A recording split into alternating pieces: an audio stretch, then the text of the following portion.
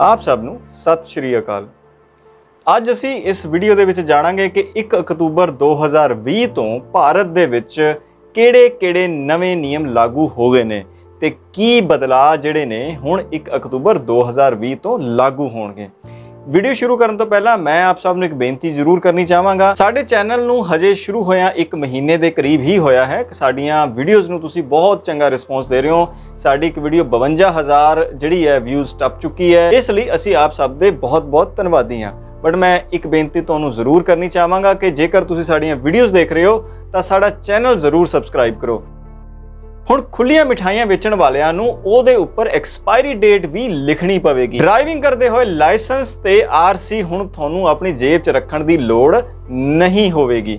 Health insurance ਦੇ ਵਿੱਚ ਵੀ ਕਈ ਨਵੇਂ ਬਦਲਾਅ ਹੋਏ ਨੇ। ਪ੍ਰਧਾਨ ਮੰਤਰੀ ਉਜਵਲਾ ਯੋਜਨਾ ਦੇ ਅਧੀਨ ਹੁਣ ਤੁਹਾਨੂੰ ਫ੍ਰੀ ਸਿਲੰਡਰ ਨਹੀਂ ਮਿਲ ਸਕਣਗੇ।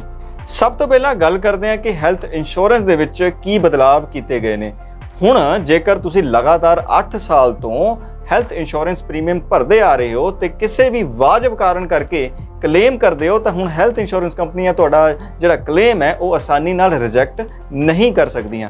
ਪਹਿਲਾਂ ਕਈ ਬਿਮਾਰੀਆਂ ਦੇ ਖਰਚੇ ਹੈਲਥ ਇੰਸ਼ੋਰੈਂਸ ਕੰਪਨੀਆਂ ਨਹੀਂ ਦਿਆ ਕਰਦੀਆਂ ਸੀ, ਹੁਣ ਉਹਨਾਂ ਬਿਮਾਰੀਆਂ ਦੀ ਸੰਖਿਆ ਘਟਾ ਕੇ 17 ਕਰ ਦਿੱਤੀ ਗਈ ਹੈ। ਮਾਨਸਿਕ ਪਰੇਸ਼ਾਨੀ ਅਤੇ ਕੈਂਸਰ ਵਰਗੀਆਂ ਬਿਮਾਰੀਆਂ ਦਾ ਕਲੇਮ ਵੀ ਤੁਸੀਂ ਹੁਣ ਕਰ ਸਕਦੇ ਹੋ।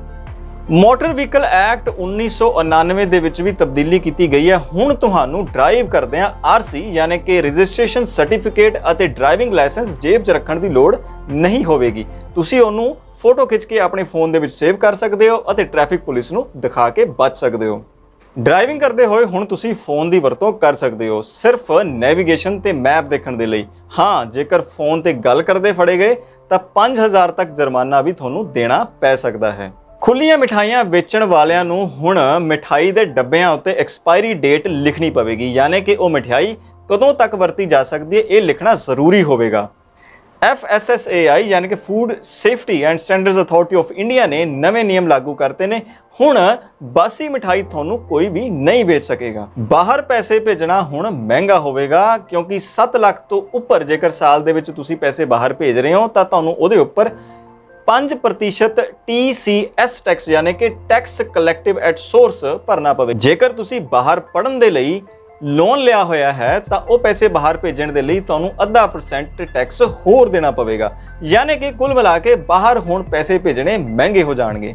ਹੁਣ ਟੀਵੀ ਖਰੀਦਣਾ ਵੀ ਮਹਿੰਗਾ ਹੋ ਜਾਵੇਗਾ, ਕਿਉਂਕਿ ਸਰਕਾਰ ਨੇ ਓਪਨ ਸੇਲ ਰਾਹੀਂ ਬਾਹਰੋਂ ਟੀਵੀਆਂ ਦੇ ਆਯਾਤ ਤੇ 5% ਕਸਟਮ ਡਿਊਟੀ ਲਗਾ ਦਿੱਤੀ ਹੈ, ਜਿਹਦੇ ਨਾਲ ਟੀਵੀ 500 ਤੋਂ 2000 ਰੁਪਏ ਮਹਿੰਗੇ ਹੋ ਜਾਣਗੇ। ਪ੍ਰਧਾਨ ਮੰਤਰੀ ਉਜਵਲਾ ਯੋਜਨਾ ਰਾਹੀਂ ਘਰ ਘਰ ਵਿੱਚ ਸਿਲੰਡਰ ਪਹੁੰਚਾਉਣ ਦੀ ਇੱਕ ਸਕੀਮ ਜਿਹੜੀ ਹੈ, ਚਲਾਈ ਸੀ, ਜਿਹਦੇ ਰਾਹੀਂ ਫ੍ਰੀ ਸਿਲੰਡਰ ਵੰਡੇ ਗਏ ਸੀ। ਉਹਦੀ ਮਿਆਦ ਵੈਸੇ ਤਾਂ 31 ਮਾਰਚ 2020 ਨੂੰ ਖਤਮ ਹੋ ਜਾਣੀ ਸੀ, ਪਰ ਕਰੋਨਾ ਕਾਰਨ ਇਹਦੀ ਮਿਆਦ 30 ਸਤੰਬਰ ਤੱਕ ਵਧਾ ਦਿੱਤੀ ਗਈ ਸੀ। ਹੁਣ 1 ਅਕਤੂਬਰ ਤੋਂ ਫ੍ਰੀ ਸਿਲੰਡਰ ਇਸ ਯੋਜਨਾ ਰਾਹੀਂ ਮਿਲਣੇ ਬੰਦ ਹੋ ਜਾਣਗੇ। ਆਸ਼ਾ ਕਰਦਾ ਕਿ ਇਹ ਵੀਡੀਓ ਤੁਹਾਨੂੰ ਚੰਗੀ ਲੱਗੀ ਹੋਵੇਗੀ। ਜੇ ਚੰਗੀ ਲੱਗੀ ਤਾਂ ਇਸ ਨੂੰ ਲਾਈਕ ਤੇ ਸ਼ੇਅਰ ਜ਼ਰੂਰ ਕਰਿਓ। ਕੋਈ ਵੀ ਸਵਾਲ ਤੁਹਾਡੇ ਮਨ ਚ ਆਉਂਦਾ ਹੈ ਤਾਂ ਕਮੈਂਟ ਬਾਕਸ ਦੇ ਵਿੱਚ ਸਵਾਲ ਵੀ ਜ਼ਰੂਰ ਕਰਿਓ। ਇਸ ਚੈਨਲ ਤੇ ਆ ਰਹੀਆਂ ਵੀਡੀਓਜ਼ ਅਗਰ ਤੁਹਾਨੂੰ ਚੰਗੀਆਂ ਲੱਗ ਰਹੀਆਂ ਨੇ ਤਾਂ ਚੈਨਲ ਸਬਸਕ੍ਰਾਈਬ ਵੀ ਜ਼ਰੂਰ ਕਰ ਦਿਓ। ਮਿਲਦੇ ਹਾਂ ਅਗਲੀ ਵੀਡੀਓ ਦੇ ਵਿੱਚ। ਧੰਨਵਾਦ।